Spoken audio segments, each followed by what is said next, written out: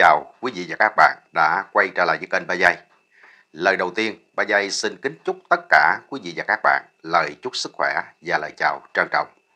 Kính thưa quý vị và các bạn, trong video này, Ba Giây sẽ chia sẻ đến tất cả quý vị và các bạn với những thông tin đáng chú ý của ca sĩ Di Oanh, nhà báo Hàng Ni, bà Nguyễn Phương Hằng, luật sư Trần Văn Sĩ, tiến sĩ luật Đặng Anh Quân, được Ba Giây cập nhật và trích từ kênh YouTube Báo Pháp Luật Thành phố Hồ Chí Minh. Và xin mời tất cả quý vị và các bạn theo dõi nội dung chi tiết của video ngày hôm nay. Kính thưa quý vị, liên quan tới vụ việc của ca sĩ Di Oanh đâm đơn kiện bà Phương Hằng ngày 25 tháng 6 năm 2021, Phòng Cảnh sát Hình sự Công an Thành phố Hồ Chí Minh đã thông báo đơn vị này đã nhận đơn tố cáo của ca sĩ Di Oanh về việc là bà Phương Hằng đã có hành vi sử dụng mạng xã hội thông tin sai sự thật với mục đích là du khống xúc phạm danh dự nhân phẩm của cô. Việc này khiến cho nhiều người rất là bất ngờ vì Di Oanh là ca sĩ duy nhất tính đến cái thời điểm đó là gửi đơn tố cáo bà Phương Hằng lên cơ quan chức năng. Theo ca sĩ Di Oanh, sự việc này cô quyết tâm làm đến cùng là vì danh dự của cả gia đình và để các con được à, sống bình yên. Cũng theo ca sĩ Di Oanh, bà Hằng đã đẩy sự việc đi quá xa. Cô cho biết là khi viết đơn kiện bà Phương Hằng, cô à, chỉ còn vài ngày nữa là tới kỳ sinh nở. Nhưng mà cô vẫn phải thảo đơn tố giác vì cô không thể chịu đựng thêm được nữa. Sức chịu đựng của mỗi người có giới hạn. Và khi cái sức chịu đựng không còn được nữa thì bắt buộc phải phản kháng với lương tâm trách nhiệm của một người mẹ, người vợ, một người của công chúng. Cô phải lấy lại công bằng cho con trai vừa lên 6 tuổi của mình. Gia đình của nữ ca sĩ rất là đau lòng khi à, con bị gán ghép với một người không liên quan. Di Quang cho rằng nếu mà cô không làm việc này thì con trai của cô sẽ suốt một đời mang tiếng quan và cháu sẽ không thể chịu đựng được áp lực từ phía dư luận. Nữ ca sĩ đã cho hay, vấn đề ở đây là tôi thấy nếu mà chúng tôi không có động thái rõ ràng thì bà Phương Hằng lại càng kiếm cớ để đẩy sự việc đi xa hơn, khiến cuộc sống của gia đình của tôi bị ảnh hưởng, nhất là những cái đứa trẻ vô tội. Nguy hại hơn và nếu một số khán giả bị dẫn dắt theo cái hướng phiến diện dẫn đến hiểu sai cái câu chuyện và làm cho mọi thứ trở nên tồi tệ hơn. Cô cũng tâm sự. Thực sự mà nói, trong giới nghệ sĩ trước nay cũng à, có người này người kia, chuyện nọ chuyện kia. Nhưng khán giả đâu có để nghệ sĩ tới mức đường cùng, triệt hết mọi đường sống như vậy.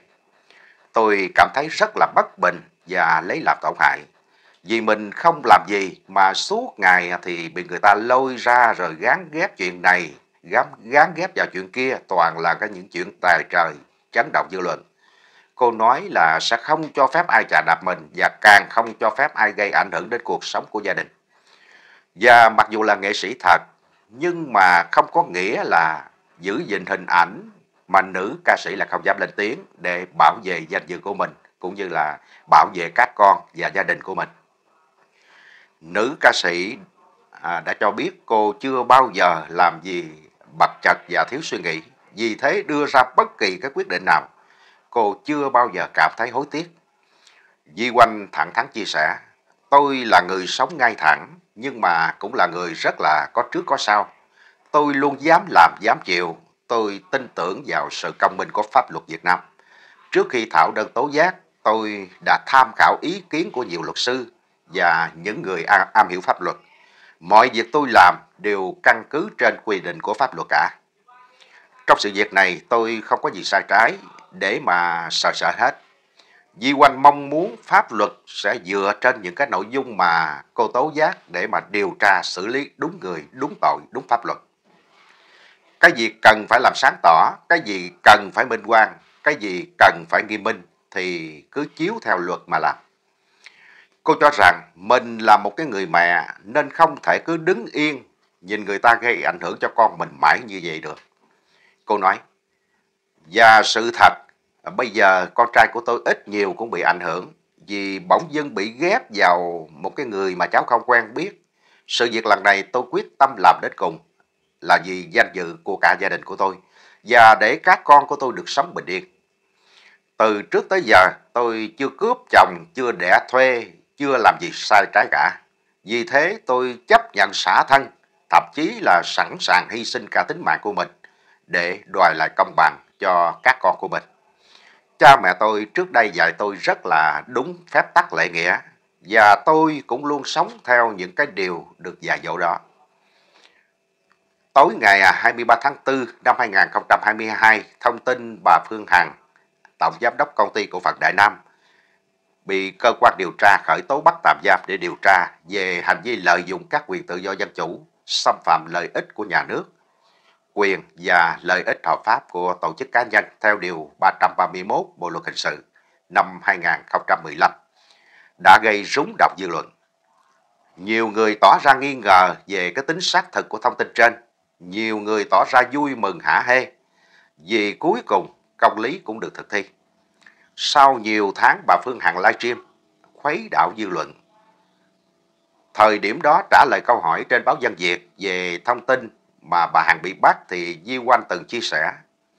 Tôi thấy khá bình thường khi mà nghe tin bà Phương Hằng bị bắt. vốn dĩ là một người phạm quá nhiều sai lầm, coi thường pháp luật, gây tổn hại tinh thần và danh dự cho bao nhiêu người. Thì cái điều này chỉ là sớm hay muộn mà thôi. Tôi hy vọng bà ấy sẽ nhận ra những cái sai lầm của mình mà quán cải. Tôi hy vọng những cái nạn nhân như tôi, những cái người từ bị bà ấy réo tên xúc phạm và bôi nhọ danh dự sẽ được trả lại danh dự. Di Hoạch cho biết, cá nhân mình cũng như là những nạn nhân khác bị rơi vào cái câu chuyện của bà Phương Hằng. Bà ấy dùng các cái phương tiện truyền thông để biến Di Oanh thành một cái con người không ra gì, như tự đi kiếm chuyện, cướp chồng, đẻ thuê, làm gái. Chuyển khoản từ thiện đến tương lai, mượn nhà sống ảo, từ thiện, bánh bông lan trứng muối dần dần. Nhiều thật nhiều những cái thứ xấu xa ở trên đời mà bà Phương Hằng đã gán cho ca sĩ này. Cô nói, từ nhỏ đến lớn chỉ à, biết lo làm việc, phụng dưỡng cha mẹ, anh chị em, chăm sóc gia đình. Chưa bao giờ làm cái việc gì sai trái. Có lẽ tôi đã quá đau thương khi làm không làm đến nơi đến chốn những cái tin đồn vô căn cứ này ngay từ đầu. Và cũng là một cái kinh nghiệm cho tôi sau này. Vẫn còn một thời gian nữa để à, cơ quan điều tra có kết luận về việc của tôi và các nạn nhân khác. Di Quanh cũng cho biết cô luôn tâm niệm mình trong sạch thì không việc gì phải buồn phiền mà hãy mạnh mẽ đấu tranh, đòi hỏi lại công bằng cho bản thân, đặc biệt là cho các con của cô. Ca sĩ này thẳng thắn, tôi xác định đây là cái việc phải làm khi mọi thứ đã vượt giới hạn cho phép. Tôi luôn tin rằng pháp luật luôn đứng về lẽ phải, bản chất sự việc của tôi là du khống 100%. Vì vậy, tôi kiên trì theo đuổi đến cùng và tin rằng dù sớm hay là muộn thì sự thật mãi mãi sẽ là sự thật. Sống như thế nào sẽ được như thế ấy. Sau thông tin bà Hằng bị khởi tố bắt tạm giam ngày 24 tháng 3 năm 2022, trên mạng xã hội xuất hiện hàng loạt dòng trạng thái bày tỏ quan điểm cá nhân về cái việc này. Nhiều người cũng tò mò muốn biết là phản ứng của các cái sao việc từng bị bà Phương Hằng nhắc đến trong các buổi livestream trước đây. Nhất là các sao việc bị bà Phương Hằng xúc phạm bằng cái lời lẽ gây gắt như là Hoài Linh, Hồng Dân, Trấn Thành, Đàm Vĩnh Hưng, Thủy Tiên, Di Hoạch. Tuy nhiên, phần lớn là các sao Việt đều tỏ ra thận trọng khi không có bất kỳ phát ngôn gì liên quan đến à, sự việc này. Chỉ có ca sĩ Đàm Vĩnh Hưng là chia sẻ một cái dòng trạng thái đầy ẩn ý. Banh Facebook tôi rồi, toàn là tin nhắn yêu cầu hát bài Đất nước tròn niềm vui tại phòng trà Đồng Giao tối nay. Chưa tới 30 tháng 4 mà quý vị bắt tôi hát bài này sớm quá. Tôi thôi thì à, phận làm ca sĩ sau giáp mặt à, áo qua khỏi đầu, nhất là khi cả triệu triệu ông bà chủ đã trả lương cho tôi suốt 24 năm qua. Dân à, tối nay tôi sẽ hát. Trước đó vào tối ngày 16 tháng 5 năm 2021, bà Phương Hằng tiếp tục có buổi livestream đáp trả hàng loạt các cái tên trong Soviet vì liên quan bài đăng cà khịa bà, trong đó là bà Phương Hằng là nhắc tên ca sĩ Di Oanh sau khi nữ ca sĩ này có động thái là thắc mắc về cái chuyện làm từ thiện 1.000 tỷ của vợ chồng ông bà. Bà Phương Hằng tức giận, Bây giờ cô muốn à, tôi lôi cái dị dạng dơ giấy của cô với một đại gia ra, rồi cô qua Mỹ mà đẻ không? Nó nói là một ngàn tỷ, sao không đưa từng mặt mà lại đưa đất? Quý vị thấy không? Tôi nói thiệt, có cái doanh nghiệp nào mà có một ngàn tỷ tiền mặt hay là không? Người ta đi kinh doanh mà. Đất là gì? Đất cũng là tiền, mà nó còn thách thức sao không phải là tiền, mà lại là đất. Quý vị thấy nó nói chuyện bố láo hay là không? Mấy người này không chửi không được. Nó nói như tôi với ông Dũng là nói xạo, mà cho như vậy nó cũng bắt lỗi là sao không cho tiền bạc. Vậy thì cô muốn tôi cho công chúng biết cô là ai không Di Quanh. Cô đi làm bé cho một người, cô hốt 5-7 triệu đô, cô qua Mỹ có một người chồng hợp pháp. Rồi bữa nay cô lên tiếng mạnh quá. ha Ngay sau khi bài đăng bóc phốt của ca sĩ Di Quanh, nữ ca sĩ cũng có động thái đáp trả. Cuối cùng, con cũng cho cô có cơ hội được gọi tên con rồi kìa. Mà có cái điều là cô biêu xấu một hai người, lời nói thì còn giá trị. Chứ mỗi ngày cô đứng trên pháp luật, chửi hết người này qua người khác, thì nó vô tác dụng cô ạ. À. Chưa dừng lại ở đó, Di Quanh còn nhấn mạnh. Kể chuyện quá khứ với hiện tại, con và những nghệ sĩ cô chữ rủa chắc chắn là không thể bằng cô được rồi. Cô là số một mà nghệ sĩ phải chịu thị phi. Mà mấy cái quá khứ tụi con bị đơm đặt cả nước đều biết hết rồi. Cô nói chuyện nào mới đi cô. Cho nó hấp dẫn. Chứ con nghĩ đi hát lâu rồi. Giờ cô làm con nổi lại không biết có uổng công hay là không. Bên cạnh đó, à, ca sĩ Di Quanh cũng à, nói là cô nhớ giữ sức để là chửi con với tất cả nghệ sĩ mỗi ngày nha cô. Giờ mới tới lượt con mà. Con được cô like một tháng không cô ơi? Chắc chắn là còn nhiều người trái ý cô lắm. Cô giữ sức để còn chửi ngang. Dù cô có chửi chuyên nghiệp cỡ nào cũng à, mất sức cô ạ. À. Tầm tuổi đó rồi phải giữ sức để à, còn lo cho dân đi ạ. À. Đại Nam Văn Hiến con nghe nói là cái nơi tâm linh văn hóa. Cô đừng giăng đồ nhậu ra ngoài mà ảnh hưởng chú nghe cô. Chú doanh nhân to như thế, cô phải giữ cho chú nghe. Theo thông tin điều tra vụ án, bà Phương Hằng từ ngày 16 tháng 5 năm 2021 đến ngày 8 tháng 11 năm 2021, bà Hằng đã thực hiện nhiều buổi livestream và đã có những cái phát ngôn về bí mật đời tư cá nhân, những nội dung gây ảnh hưởng đến uy tín cá nhân của ca sĩ Đàm Vĩnh Hưng, ca sĩ Di Quanh. Luật sư Hoàng Tùng, văn phòng luật sư Trung Hòa, đoàn luật sư thành phố Hà Nội đã cho rằng Việc này đã và đang làm rõ trong quá trình điều tra. Việc những bị hại trong cái vụ án của bà Nguyễn Phương Hằng phản ứng lại đối lại những cái hành vi của bà Hằng trong các khoảng thời gian trên nếu có. Về mức độ tính chất của hành vi đã được BC01 lấy lời khai trong quá trình điều tra vụ án này. Hiện có quan điểm cho rằng việc BC01 đang thủ lý giải quyết nhưng nay BC02 tiếp tục giải quyết theo một trình tự mới là để đảm bảo tính nhanh chóng. Tuy nhiên, như chúng ta đã biết, việc điều tra vụ này liên quan đến nhiều dữ liệu điện tử. Đây là hình thức phạm tội mới mà cái việc điều tra đòi hỏi phải thu thập chuyển hóa rất nhiều các thông tin dữ liệu.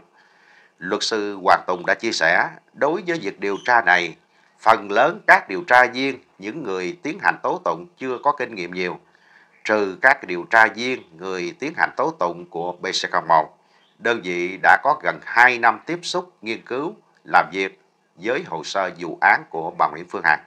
Do đó, việc để điều tra viên người tiến hành tố tụng mới BC02 có thể là bắt nhịp được quá trình tố tụng như là thu thập thông tin rồi giám định lưu trữ, chuyển hóa dữ liệu sẽ gây rất nhiều thời gian so với BC01 vì BC02 thủ lý giải quyết đơn tố giác của ông Tuấn.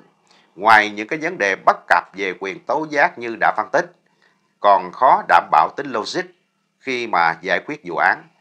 Như chúng ta được biết, logic là một cái công cụ để phát triển các cái kết luận hợp lý dựa trên một cái tập hợp dữ liệu.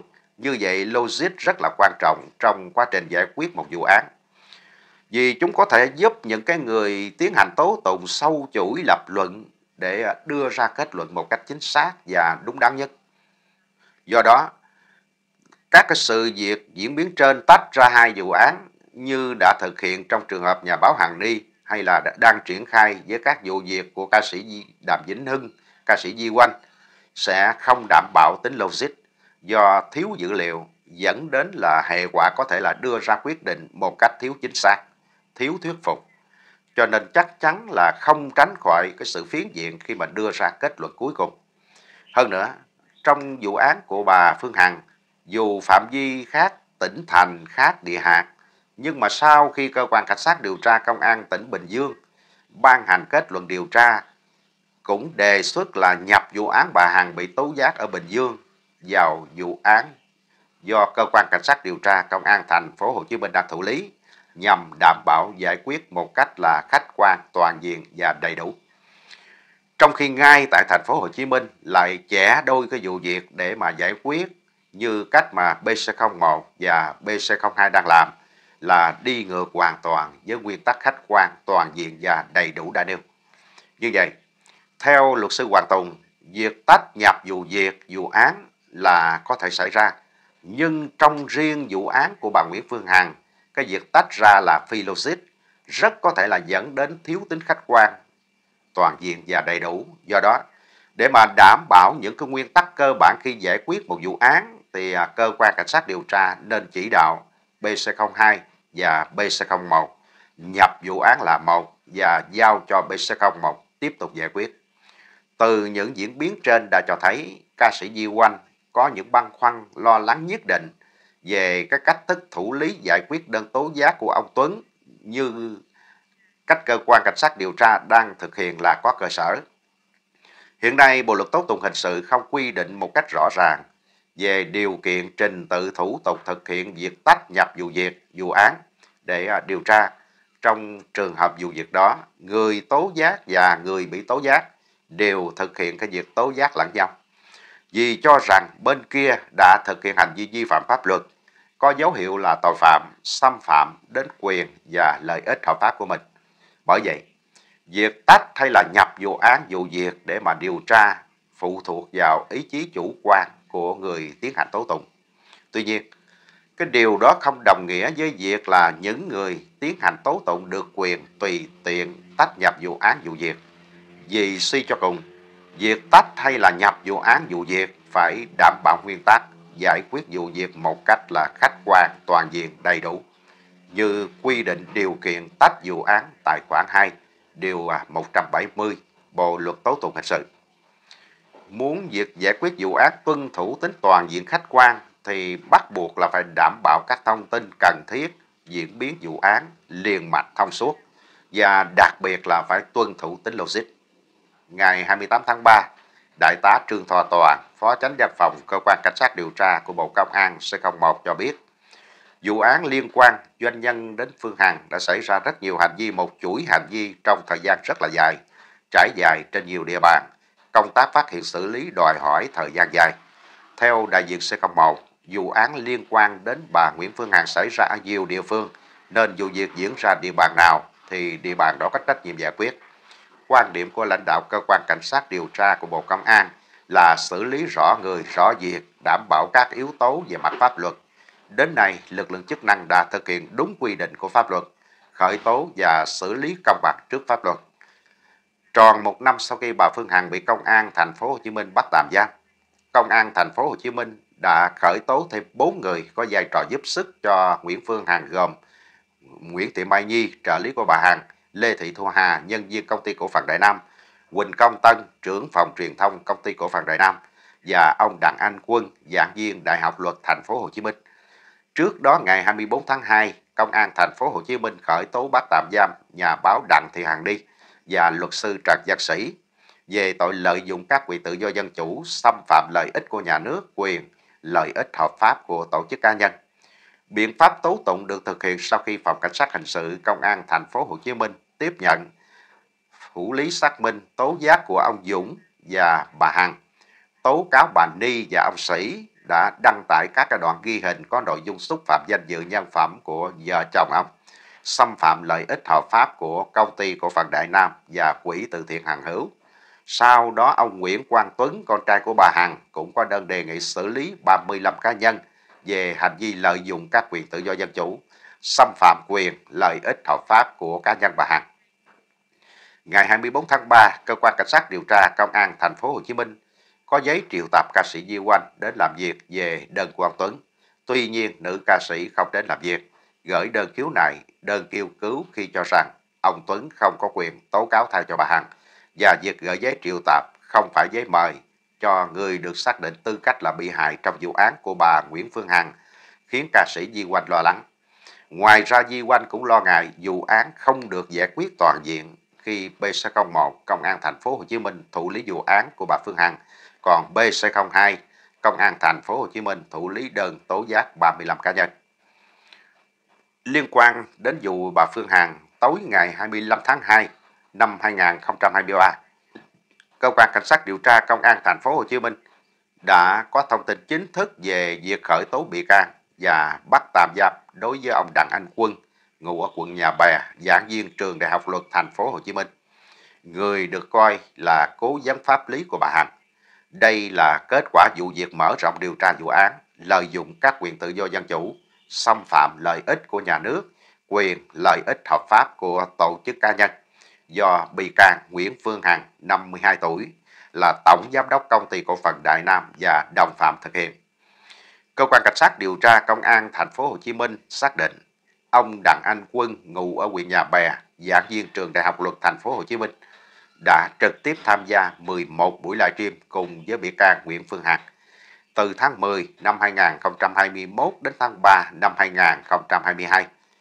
Theo cơ quan điều tra, hành vi của ông Quân đã giúp sức tích cực cho bà Hằng thực hiện hành vi phạm tội liên tục nhiều lần trong thời gian dài. Đủ yếu tố cấu thành tội lợi dụng các quyền tự do dân chủ, xâm phạm lợi ích của nhà nước, quyền lợi ích hợp pháp của tổ chức cá nhân. Quy định tại Điều 331 Bộ Luật Hình sự.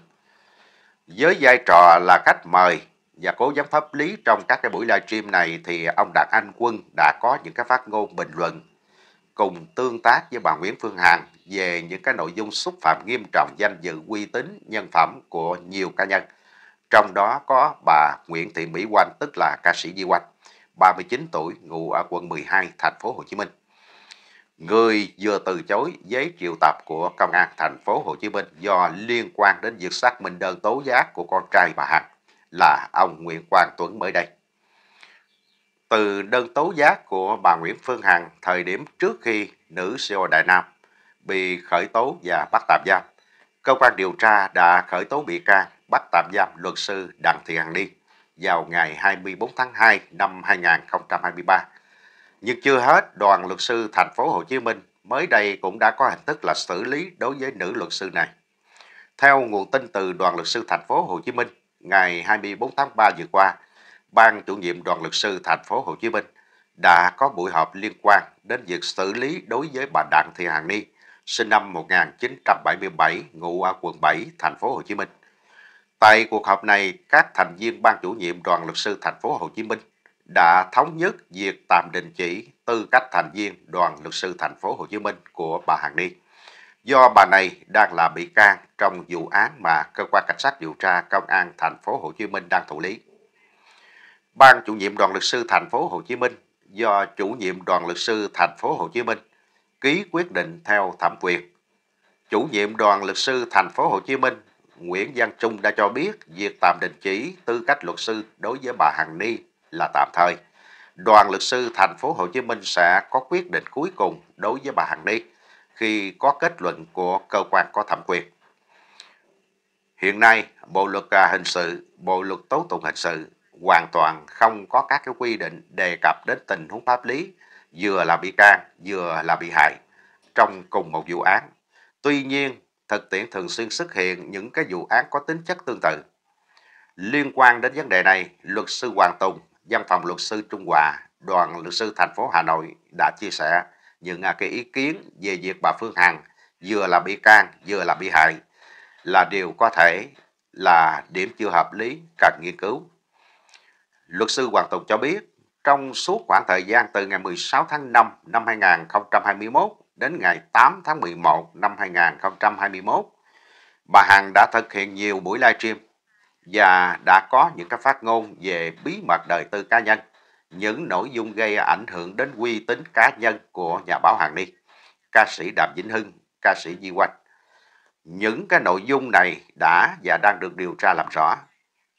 Đặt giả thuyết nhà báo Hàng Ni, ca sĩ Đàm Vĩnh Hưng, ca sĩ Di Quanh thực hiện hành vi phản kháng nếu có, thì những cái hành vi này đều diễn ra trong cùng vụ án, trong cùng không gian, thời gian, liên tục, nguyên nhân và hậu quả có tính liên kết chặt chẽ với nhau theo chuỗi hành vi tương ứng với các hành vi mà bà Hằng đã thực hiện. Nếu mà các hành vi phản kháng này nếu có khi tồn tại độc lập sẽ cấu thành tội phạm, nhưng mà khi được đặt trong cái vụ án của bà Nguyễn Phương Hằng thì cần được xem các hành vi mang tính phòng vệ chính đáng và sẽ được loại trừ trách nhiệm hình sự. Bởi vì những cái hành vi vi phạm pháp luật mà bà Hằng thực hiện đã gây ra cái sự kích động mạnh về tinh thần đối với những người bị hại, nhất là đối với các nghệ sĩ vốn sống bằng những cái cảm xúc. Do đó, theo quan điểm của luật sư Hoàng Tùng, nhà báo Hằng Ni, ca sĩ Đàm Vĩnh Hưng, ca sĩ Di Quanh, không thể vừa là bị hại vừa là bị can trong vụ án của Nguyễn Phương Hằng. Đây cũng là một trong những cái góc khuất, những cái điểm lõm của pháp luật hình sự hiện hành. Rất cần được các chuyên gia, cơ quan bảo vệ pháp luật trung ương có các cái chỉ dẫn, hướng dẫn, các công trình nghiên cứu khoa học để làm rõ hơn những cái vấn đề pháp lý có tính chất tương tự.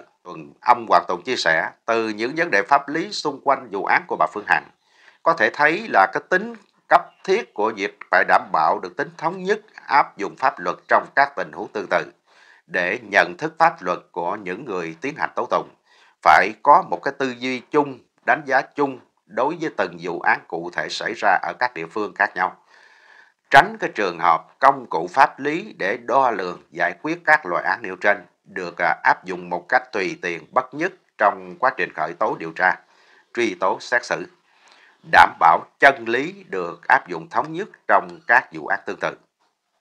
Dù à, kiện cáo của bà Hằng Ni và bà Phương Hằng được đánh giá là một cái vụ án hy hữu trong lịch sử tố tụng, đây là vụ án được giới chuyên gia đánh giá là lạ lùng và vô cùng hy hữu khi vụ án lời qua tiếng lại trên mạng xã hội được dư luận đặc biệt quan tâm. Hy hữu ở cái chỗ là các bị can thành bị hại, bị hại thành bị can. Nhà báo Hằng Ni gửi đơn tố cáo bà Hằng, bà Ni thành bị hại, bà Hằng thành bị can. Bà Hằng gửi đơn tố cáo bà Hằng Ni, bà Hằng thành bị hại, bà Hằng Ni thành bị can. Nhưng có điều đáng lưu ý đó là hai bị can, bị hại này đều đã bị bắt tạm giam để điều tra cùng tội danh lợi dụng các quyền tự do dân chủ xâm phạm lợi ích của nhà nước, quyền lợi ích hợp pháp của tổ chức cá nhân theo Điều 331 Bộ Luật Hình sự năm 2017 sau gần một năm kể từ khi bà Phương Hằng bị bắt tạm giam. Ngày 24 tháng 2 năm 2023, Phòng Cảnh sát Hình sự Công an thành phố Hồ Chí Minh đã khởi tố bắt tạm giam bà Đặng Thị Hằng Ni cũng về tội danh nói trên. Trong vụ án này, bà Nguyễn Phương Hằng được xác định là bị hại Việc bà Hằng Ni bị bắt đã tạo ra một cái cuộc tranh cãi lớn ở trong dư luận xã hội. Mặc dù vẫn còn một số người ủng hộ Hằng Ni cho rằng bà không phải là người có ý định gây tổn hại và cần được tha thứ. Tuy nhiên, cũng có không ít phản hồi từ cộng đồng mạng đều chỉ trích Hằng Ni vì đã vi phạm luật báo chí và quy tắc đạo đức người làm báo. Kinh tế thị trường càng phát triển sẽ hình thành một tầng lớp doanh nhân có tiềm lực về kinh tế giàu về trí tuệ và văn hóa, có đạo đức và trách nhiệm cao với xã hội. Hoặc không chỉ đóng góp cho xã hội những cái giá trị kinh tế mà tầm ảnh hưởng của họ ngày càng lớn, chi phối các cái giá trị văn hóa tư tưởng. Những việc làm an sinh xã hội của bà Phương Hằng là rất đáng trân trọng, thể hiện thông qua việc giúp đỡ cộng đồng, ủng hộ các à, hoạt động từ thiện, quyên góp tiền cho các à, tổ chức xã hội. Xong những phát ngôn của bà Hằng trong những cái thời gian qua thì nhiều người cảm thấy tiếc nuối cho những gì mà trước đó bà đã gây dựng. Nếu là chuẩn chúng ta phải trả giá, mà cái giá phải trả trong văn hóa cao lắm, có khi dài thế hệ chưa chắc đã khắc phục được. Lịch sử tố tụng nước ta đã từng đưa các thánh chữ ra tòa và xử lý nghiêm minh vụ việc này là việc làm tiếp tục của công cuộc lập lại trật tự xã hội. Là một luật sư, một nhà báo có tiếng, dư luận đặt ra câu hỏi vì sao bà Hằng Ni bị bắt sau quá trình điều tra xác minh. Cơ quan cảnh sát điều tra xác định bà Đặng Thị Hằng Ni và ông Trần Văn Sĩ, một luật sư khác đã đăng tải nhiều đoạn ghi hình trên kênh YouTube với các nội dung chưa được kiểm chứng. những thông tin thuộc bí mật cá nhân, bí mật gia đình và đời sống riêng tư của ông Dũng bà Hằng, công ty cổ phần Đại Nam, quỹ từ thiện Hằng Hữu của vợ chồng của ông Dũng bà Hằng. Bà Hằng đã khai báo với cơ quan cảnh sát điều tra rằng những thông tin liên quan đến đời tư của những người khác, trong đó có các cá nhân là các nhà báo nghệ sĩ bị đả kích trong nhiều tài khoản mạng xã hội. Bà tham khảo ở trên mạng xã hội không rõ nguồn gốc, lấy thông tin từ báo chí và nằm ơn. Trong các buổi livestream, bà Hằng đã xâm phạm đến bí mật đời tư, ảnh hưởng đến uy tín danh dự của một số người, như bà Nguyễn Thị Mỹ Oanh, ca sĩ Di Oanh, ông Võ Nguyễn Hoài Linh, nghệ sĩ Hài Hoài Linh, bà Đặng Thị Hằng Ni, cựu nhà báo luật sư Hằng Ni, bà Đinh Thị Lan, bà Trần Thị Thủy Tiên, ca sĩ Thủy Tiên cùng chồng là Lê Công Vinh, cựu cầu thủ Công Vinh và một vài cá nhân khác. Bà Hằng cũng thừa nhận các thông tin này chưa được kiểm chứng, không có căn cứ xác thực. Đặc biệt, bà Hằng mổ sẽ thông tin đời tư cá nhân của bà Hằng Ni, thậm chí còn tổ chức livestream lôi kéo nhiều người đến cơ quan và nơi ở của bà này, gây ồn ào suốt một thời gian. Ông Đặng Anh Quân thì bị bà Nguyễn Thị Mỹ Oanh, ca sĩ Di Oanh, đề nghị khởi tố qua đơn gửi cơ quan chức năng ngày 21 tháng 6 năm 2022. Trong đơn, bà Oanh nêu, phần lớn thời gian ông Quân tham gia cùng với bà Hằng là để phụ hòa, tạo điều kiện thuận lợi về mặt tinh thần cũng như là giúp sức củng cố cho quan điểm sai trái của bà Hằng.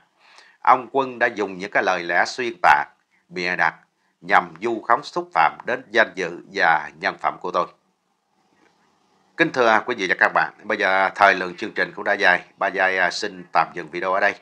Và Ba Giai à, liên tục cập nhật những thông tin liên quan đến vụ án của bà Hằng sẽ gửi đến tất cả quý vị và các bạn vào các video tiếp theo.